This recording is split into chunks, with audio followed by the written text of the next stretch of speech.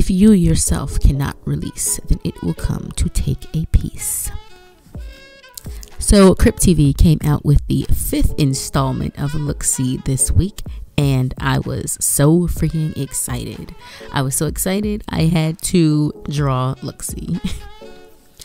and if you do not know what See is, then you need to head on over to Crypt TV right now and watch all five episodes.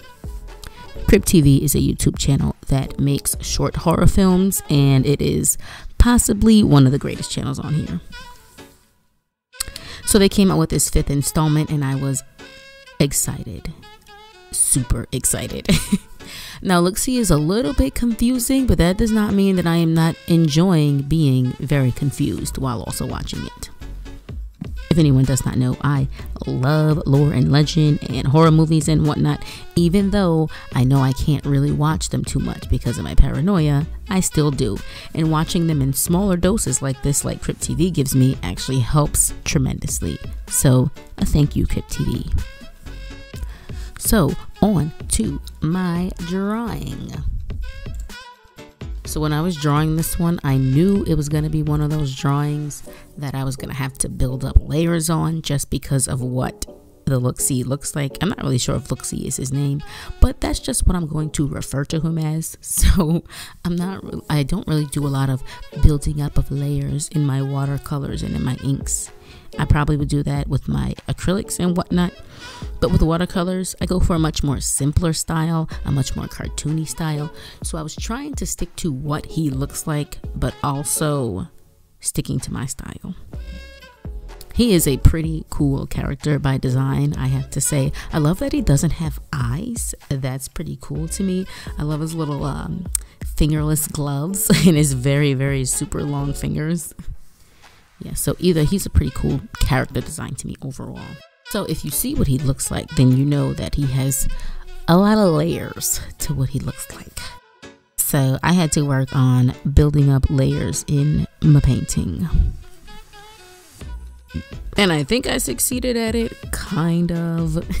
I think in I think by looking at the drawing you immediately know what it is, which means it's already a success because if you know what something is just by looking at it, you did your job but he is a pretty recognizable character. So, did I do my job or is he a really good character? I'm just gonna go with both.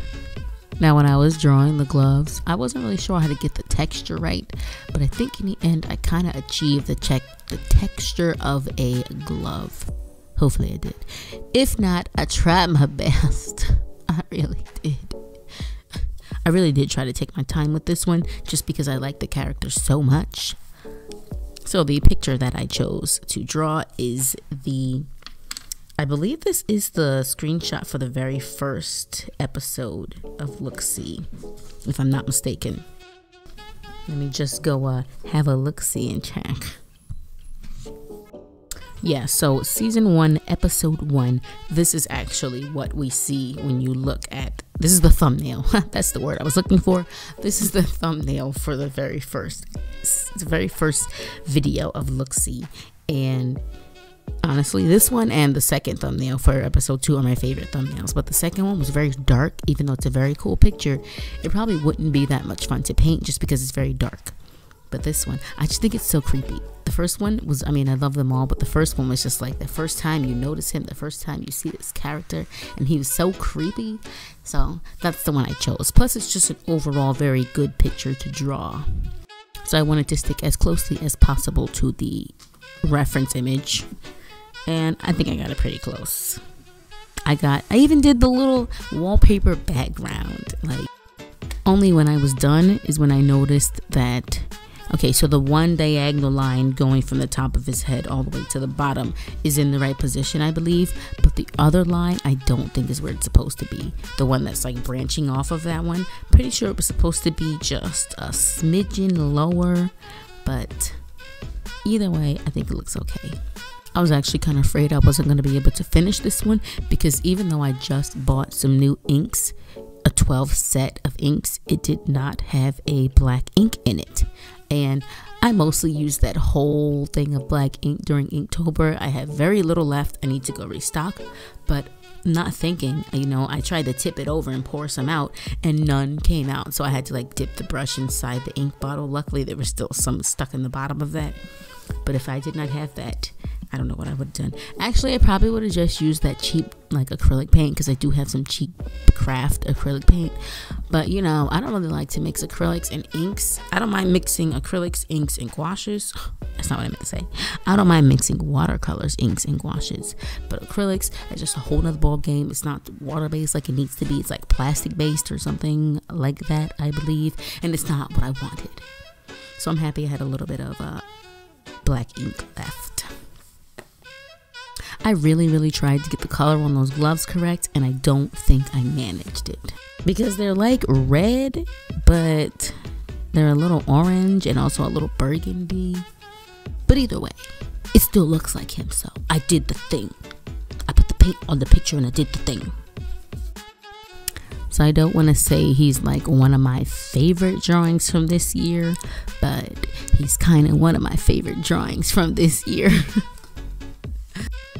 Only thing is, I do wish that I would have put the, the stall just a little bit lower because I didn't want his head to be that close to the top of the paper and I didn't want to show that much of the stall. I wish there was less of the stall and more of the wall. I'm a rapper. I do wish there was less of the stall and more of the wall though. And I wish, you know, just a little bit more headroom I feel like that would have made the composition a little bit better than what it is at the moment. Because there's just a lot of blank space at the bottom. Mostly I was worried I wouldn't get to fit his fingers in because his fingers are super long. So I was worried about fitting those in. So I gave myself too much room.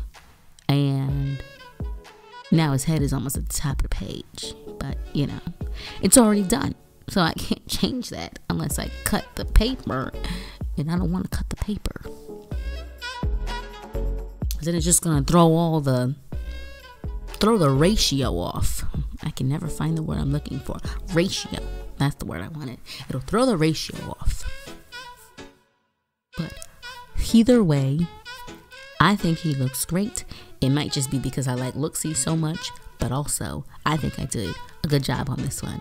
I think he looks like him and he looks creepy and I like it. So, is all.